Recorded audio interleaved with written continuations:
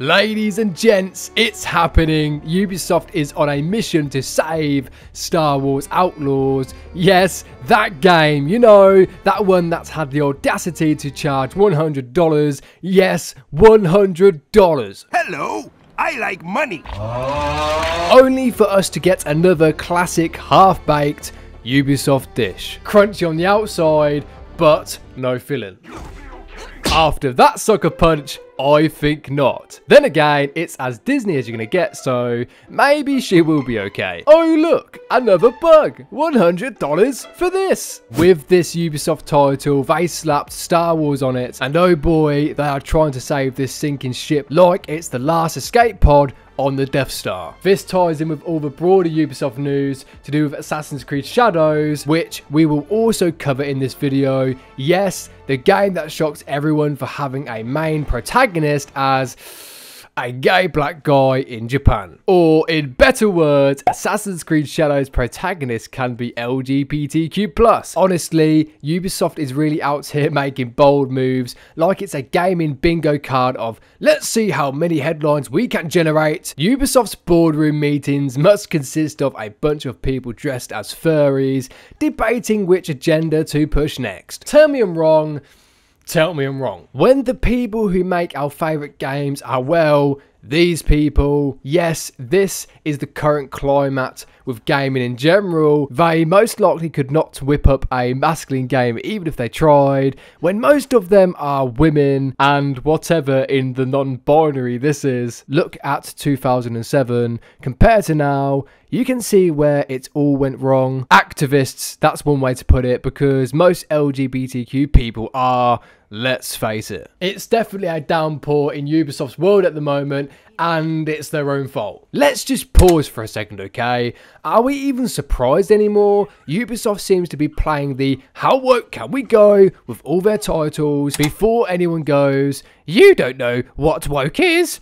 I do. I am just repeating what everyone else is saying instead of focusing on their core audience. And let's be honest, that's mostly a lot of straight dudes who just missed the golden age of gaming, which some would say is the classic era. Ubisoft are out here marketing to, well, these people. Left leaning, non binary, raging lesbians, rather than the everyday average gamer. I said it. I said it. Counts me if you must, but that is literally the truth. But let's not doom scroll just yet. Even the Titanic had lifeboats, so there's hope. Ubisoft has promised a big overhaul in a recent statement, but is it too late? Well, it's Ubisoft, the same company that somehow still makes Just Dance every year, so maybe we have a chance. Man, Just Dance who still even plays those games anymore? Maybe these people. Yeah, yeah, maybe these people. They're making some serious changes though, with a focus on combat and stealth, which is good because right now the takedowns in Star Wars Outlaws feel more like a Looney Tunes skit rather than Star Wars.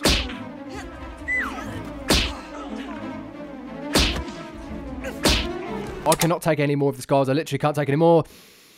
Okay, let's take a breather. It's got that Disney punching stormtroopers with glitter vibe, and honestly, a lot of people aren't really loving it. But it's not all bad.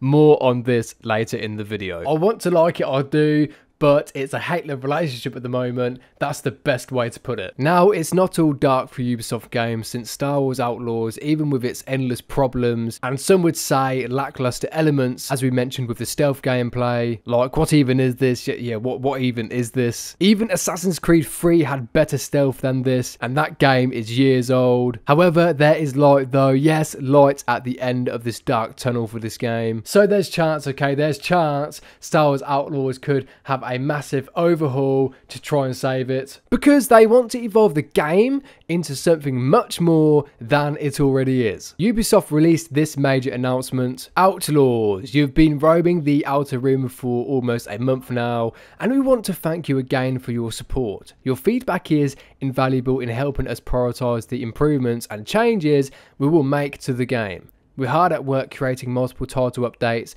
which will bring optimization, gameplay polishing, and tweaks, as well as quality of life changes, including adjustments to combat and stealth gameplay. Now, the main key takeaway here is the stealth and combat because that's a huge issue for most players. Like, what even is this? It shouts Disney to me with the comic style takedowns, and I think many people dislike this. Now, the game is not bad at all, but there are definitely good parts and bad parts to it. I mean, it's not all doom and gloom. The worlds are beautiful, they capture the scenery and atmosphere of the Star Wars universe really well, and I think the overall feel is very Star Wars, but when it comes to the gameplay and just the polishing in general, it feels unbaked, literally unbaked. I am really in between this game game. I really want to like it, but at the same time, there's just so many problems you can't ignore. And one thing to note, you can only carry one blaster for the entire game. I mean, what even is this? Yes, you can upgrade it, pick up other blasters, but where's the variety? I am hoping this so-called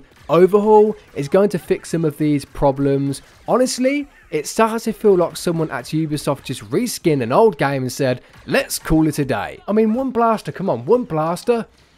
What is that? What even is that? Somehow though, it's worse because most classic Ubisoft games are phenomenal, whereas Star Wars Outlaws is just, yeah, it's, it's just okay. Yeah, okay. I mean, it could be down to the studio. It's not the same as it was, as I said, in 2007 that probably is the case. People change, times change, but regarding blasters, there could have been so much more done with this. Different types of holsters to have primaries and secondaries. Every time you go to climb a ladder, yes, you just drop your weapon. So, um, yeah, I, don't even understand why she can't just holster it, you know, over her shoulder. Where is the thought in any of this? Now, I want to like it, I do, but when you're charging $100 and making me deal with half-baked mechanics, it's like Ubisoft doesn't care about us at all, the consumers. It's like a bad relationship for sure. There are good times, but then there are those moments where you're wondering why you even stayed for this long. Compared to Jedi Survivor, I think I like that a little bit more, due to a lot of reasons. I mean, Star Wars Outlaws is fun, I love the idea of it, but it is legit as of right now a generic Ubisoft game. Ubisoft, wait. they, them. Got to get their pronouns right, eh, Ubisoft?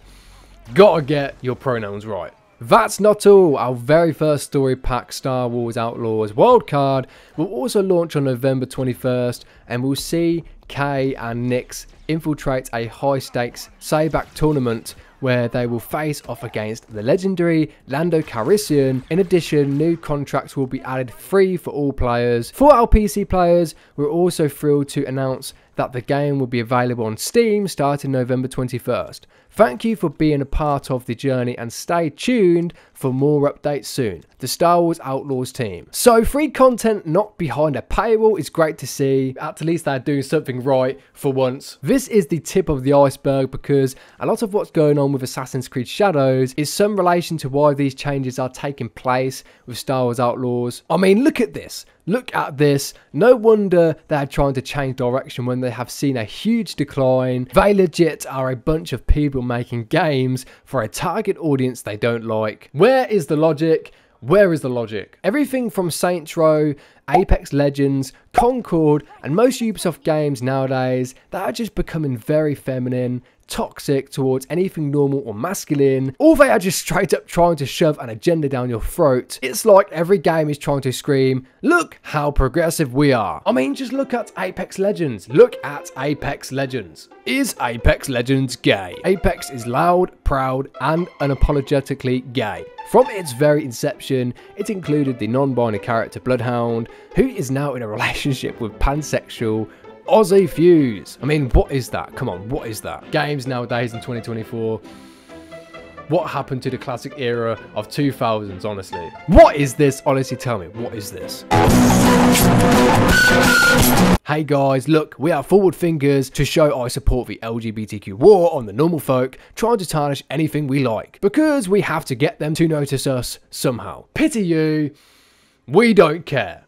Yeah, we don't care. The one thing they try to target is our games and movies because it's the only way to actually get our attention. These guys are running everything we love. Now, yesterday, Insider Gaming put out a post saying this. Ubisoft cancels press previews of Assassin's Creed Shadows. While I'm all for representation, it feels like they're just ticking boxes at this point. I mean, the actual Japanese are giving Ubisoft the side eye like, what are you doing in our historical sandbox? Basically plastering our westernized agenda all over their history. And we know why. It's blatantly there. Literally the whole of Japan are after Ubisoft. I actually heard someone say Ubisoft are just toxic, raging, left-leaning feminists, and you know what? I cannot argue with that. I literally cannot argue with that because it's true. Yeah, it's, it is true. Dear players, Assassin's Creed Shadows is a dream project for us, finally bringing these series to feudal Japan, with many features developed with our community in mind, such as parkour or the renewed stealth, brought by new technology, all set in a beautiful and immersive world. This is an ambitious addition to the franchise, a rich experience that can be lived through the eyes of two unique protagonists, but we realise we need more time to polish and refine the experience, pushing further some of our key features. As such, we made the decision to postpone the release date to February 14th, 2025. The game will release on a broad range of platforms, including Steam at launch. Additionally, pre orders will be refunded and all future pre orders will be granted the first expansion for free. We understand this decision will come as disappointing news,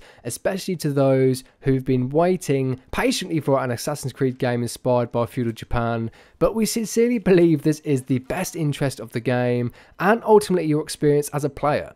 Rest assured, we're looking forward to the moment you will embark on a memorable adventure with Nao and Yasuke. Until then, we thank you for your ongoing support. I mean, come on, you have dug yourself a massive hole. Why not just be honest, be truthful? Then again, when you have people like this running a company that identifies furries, cats, dogs, you name it, of course, they are not going to tell the truth because they just can't come to terms with their own truths, you know, their gender. I mean, it's literally the truth, you know, the facts are there. Now, the other day, apparently Ubisoft revealed everything. This is for Assassin's Creed Shadows, but it also relates to the whole situation on their games in general, including Star Wars Outlaws. Per Ubisoft, while the game is feature complete, the learnings from the Star Wars Outlaws release led us to provide additional time to further polish the title.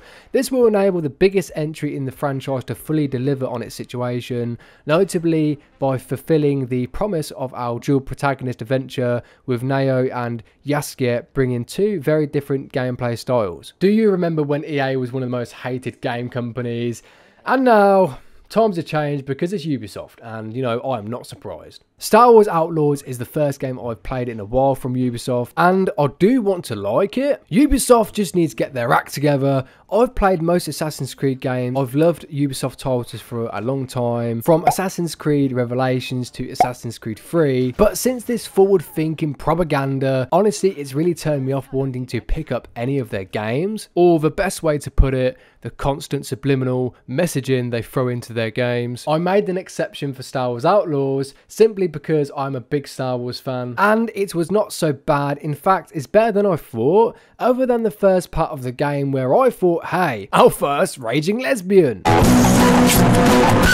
Or the fact the villain is white, it seems like Disney and Ubisoft have a lot in common, referring to Star Wars Acolyte, I mean. That flopped horribly. I mean, the game is visually great on PC, but yes, there's a but, when the gameplay feels outdated and you have games older that are way better stealth-wise, you have to question why. Why are they doing this? Do they not care about their consumers, making money, progressing, or are they setting themselves up for failure? Because they quoted this, okay? They quoted this. Softer than expected sales. And you wonder why, Ubisoft, okay? You wonder why. Apparently 10% of Ubisoft shareholders support selling the company. If Ubisoft doesn't do a complete U-turn in the next three years, it literally could be the end. I don't want to see that because I have been a fan since I was younger. However, recently I've drifted away mostly because of the way they treat their customers. We call on the management of Ubisoft to allow the sale of the company to third parties or private equity firms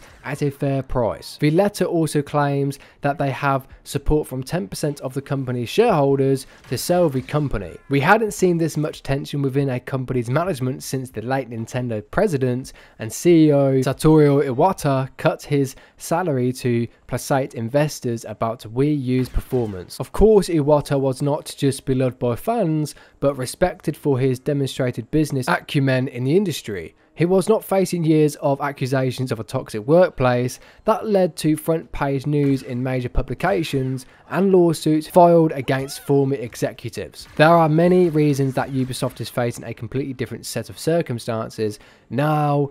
The big one among those is that Japanese laws gave Nintendo a level of protection from being acquired by foreign owners. That is not the case with Paris-based Ubisoft, who allegedly faces a group of shareholders led by Slovakia-based AJ Investments. Now, Ubisoft's board has apparently launched an investigation into why the company is struggling, so yeah, they are reviewing why their games are failing, and it's right in front of our faces. I mean, you can't ignore the facts. Again, this is all about money. Ubisoft are a business. They are trying to earn money based on selling us their games. But if the games are unpolished and they are forcing their politics down people's throats 24 7, of course gamers are going to notice this and catch on. That being said, Star Wars Outlaws is not actually as bad when it comes to, you know, that messaging. In the light of recent challenges, we acknowledge the need for greater efficiency while delighting players. As a result, beyond the first important short-term actions undertaken, the executive committee, under the supervision of the board of directors, is launching a review aimed at further improving our execution, notably in this player centric approach and accelerating our strategic path towards a high performing model to the benefit of our stakeholders and shareholders. Don't get me wrong, I've enjoyed parts of the game, but when you notice certain things, you cannot unsee them. It kind of feels like they're just putting glitter on a sinking ship. Personally, I think Ubisoft is going to do a Star Wars Battlefront 2 on this. Star Wars Battlefront 2 eventually clawed its way back from the depths of microtransaction hell. Maybe Star Wars Outlaws would get its own redemption. EA gave DICE the means to fix the game and just make it better in general, revamping progression system and adding a bunch of cool new stuff. It is a great example of how a game can turn itself around pretty fast. Why though are Star Wars games straight up just cursed? Honestly, why are they cursed? Star Wars Battlefront was a complete disaster on launch, Star Wars Jedi Survivor had performance issues, and now Star Wars Outlaws. Yes, Star Wars Outlaws. When are we going to get a Star Wars game that is polished and does not have any controversy? Fallen Order, though, was an exception. But in the end, Ubisoft really needs to get their act together. They were once the golden company behind so many iconic titles, but lately, it feels like they're trying to push their political agenda more than actual gameplay innovation. Come on, Ubisoft, we don't need a lecture on games, we just want to have fun. Plain and simple, we want to have fun. Now, the last message by Ubisoft regarding Star Wars Outlaws said this. Following the softer than expected sales from Star Wars Outlaws, after its August 30th release, Ubisoft says its development teams are currently fully mobilized to swiftly implement a series of updates to polish and improve the player experience in order to engage a larger audience during the holiday season to position Star Wars Outlaws as a strong long-term performer Ubisoft says Outlaws will launch on Steam November 21st. So yeah guys, drop a comment and tell me,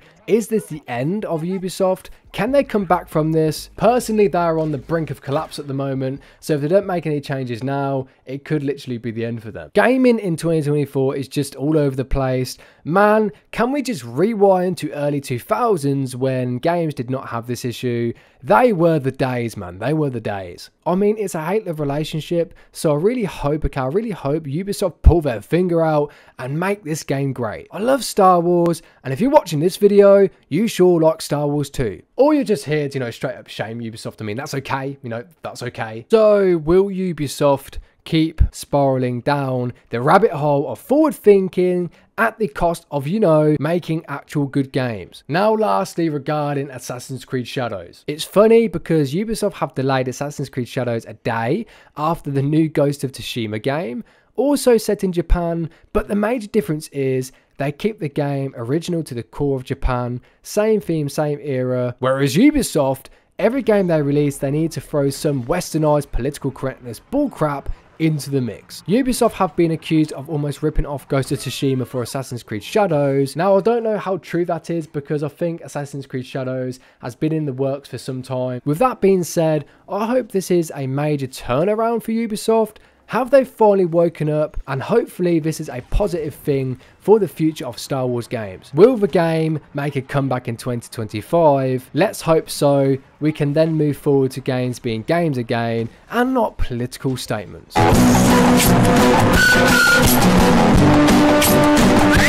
Thanks for watching. Let's hope as time goes on, the game industry balances itself out and caters towards you and not these people.